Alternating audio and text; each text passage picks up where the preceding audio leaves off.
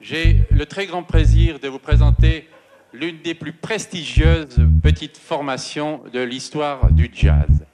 Et j'ai d'autant plus de plaisir à le faire que cette formation se produit pour la première fois ce soir en We Europe got the jazz, continentale. We got the jazz. We got the jazz. The jazz liberators. Welcome. Welcome to the Jazz Liberator album. You know what I'm saying? Yeah. Y'all been waiting for that, right? Mm-hmm. People of the world, little bit of jazz, little bit of hip hop. So, uh, Klondike.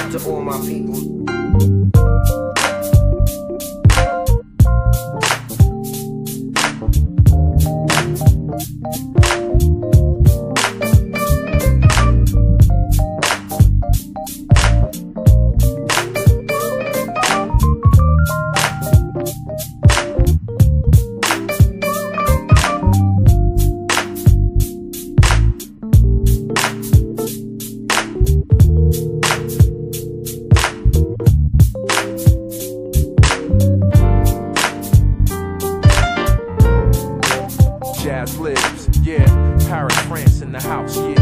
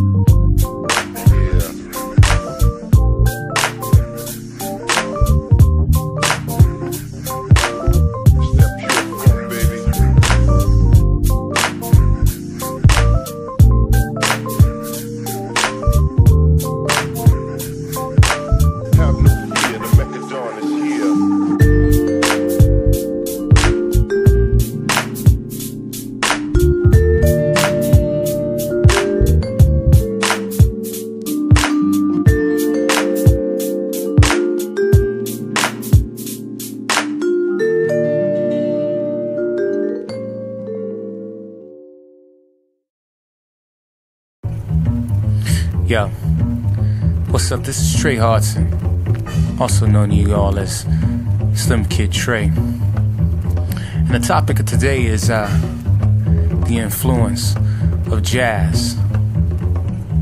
Now, jazz has come a long way. Back in the days, there was bebop, and now it's hip hop. Jazz was revolutionary, and hip hop is also revolutionary, unlike rap. Rap's not really getting the message across like our forefathers, like the Gil Scott Herons. You know, that paved the way, that set the pace and set the tone, like the last poets. All of these are great people, great minds to do things, to carry the torch of our ancestors, to let us know what's really, really going on around the world. Hip hop has definitely carried that torch in a positive way. Rap was a vehicle for stopping the violence, just as jazz was back in the days, back in the 60s, back in the 30s. Quincy Jones, McCoy Tyner, Grant Green, Wes Montgomery, Elvin Jones, Miles Davis, Eric Gale, Pharoah Sanders, Freddie Hubbard, Billy Higgins, Jimmy Smith, Wayne Shorter, Ahmad Jamal, Thelonious Monk. All big influences for what it is that we do and what it is that we are as we take our stance in music. Jazz was also like a secret conversation, meaning it was a universal language. So no matter what culture you came from, you would still hear the music and feel the story, even if you didn't know the words. In hip hop, we have to put our all into it so you can feel the energy coming across.